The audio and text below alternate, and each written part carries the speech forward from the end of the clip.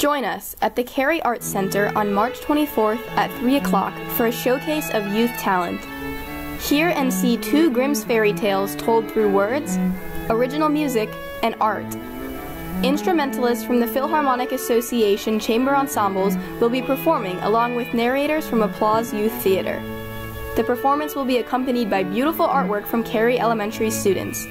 Do not miss this once in a lifetime performance.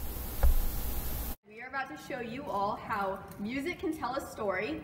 First of all, though, you need to know what a melody is. A melody is the part of the song that you recognize. There are three main characters, and each character has its own melody. The characters are Rapunzel the princess, Gothel the witch, and Friedrich the prince.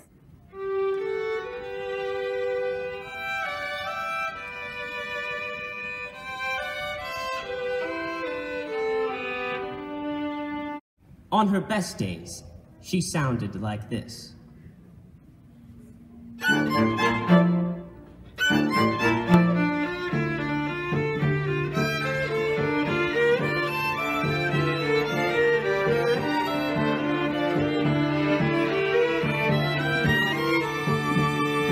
As you can see, the cello is a lot larger than the violin and viola, but like the viola, it has a low C string, which can play even lower notes, which makes my instrument perfect for the melody of Friedrich the Prince, since he's the brave, strong male character of this story.